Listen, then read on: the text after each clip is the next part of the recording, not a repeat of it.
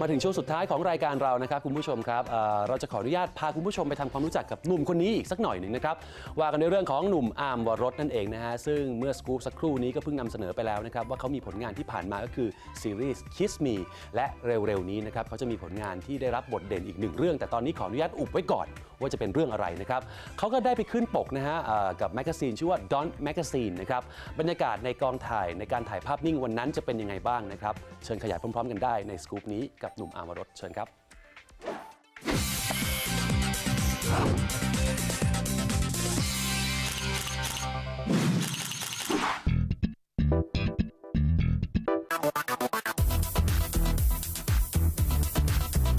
วันนี้เรียกได้ว่าเป็นการรวมตัวของหนุ่มสาวหน้าตาดี ที่เป็นดาวรุ่งหน้าใหม่ที่น่าจับตามองในปีนี้ และหนึ่งในนั้นก็คือ หนุ่มอามรสของเรานั่นเองค่ะ สวัสดีครับ วันนี้อาร์มมาถ่ายแบบให้กับนิตยสารดอนแมกซีนนะครับ จะเป็นยังไงนะครับ ตามไปดูกันเลยดีกว่า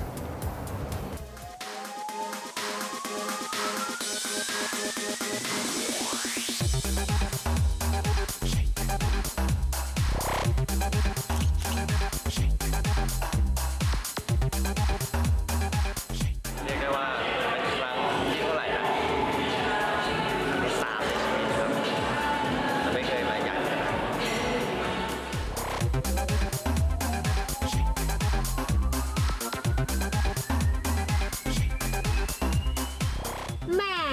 ถึงปากจะบอกว่าตื่นเต้น แต่พอถึงเวลาทำงานจริง น้องชายของเราก็ทำออกมาได้ดีทีเดียวค่ะ โอเคครับ วันนี้ก็เสร็จเรียบร้อยแล้วนะครับ ก็ยังไงก็อย่าลืมติดตามดอนแมกซีนฉบับเดือนสิงหาคมนี้นะครับผม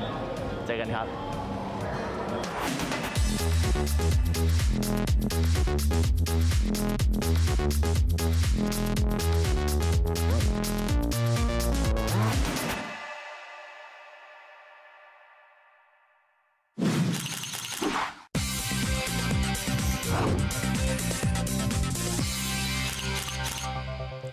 วรสมาแน่นอนนะฮะคุณผู้ชมติดตามแล้วก็จับตามองเข้าไว้ให้ดีนะครับอีกอย่างหนึ่งตอนนี้เนี่ยนะฮะนอกจากเขาจะรับงานแสดงแล้วเนี่ยนะครับเขายังมีงานอีกงานหนึ่งซึ่งเป็น job พิเศษเอ่อแล้วก็เป็นความถนัดส่วนตัวของเขาด้วยคือการเป็นเทรนเนอร์ตามฟิตเนสต่างๆนะครับถ้าคุณผู้ชมเป็นคนที่รักการออกกำลังกาย แล้วก็อาจจะได้พบได้เจอเขาตามยิมต่างๆ ก็เป็นได้ครับอาจจะทำให้คุณนั้นมีไฟในการออกกำลังกายมากขึ้นนะครับ